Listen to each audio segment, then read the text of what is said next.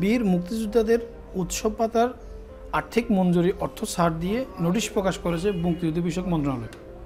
নোটিশে বলা আছে, ইলেকট্রনিক ফান্ড ট্রান্সফার ইএফটি প্রক্রিয়ার মাধ্যমে এক লক্ষ সাতাশি হাজার তেষট্টি জন ভাতাভোগীর অনুকূলে নিম্নোক্ত বিভাজন শর্তে বীর মুক্তিযোদ্ধাদের জন্য প্রযোজ্য উৎসব ভাতার সর্বমোট একশত চুয়াত্তর কোটি সাত লক্ষ উনচল্লিশ হাজার পাঁচশত চুয়াত্তর টাকা অর্থ ছাড়ের আর্থিক মঞ্জুরি জ্ঞাপন করা হলো।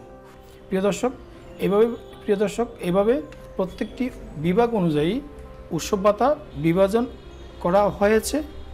আপনারা মন্ত্রণালয়ের প্রয়োজনীয় নোটিশটি সংরক্ষণ করতে চাইলে ডিসক্রিপশন বক্স থেকে লিঙ্ক নিয়ে আপনারা নোটিশটি সংরক্ষণ করতে পারেন।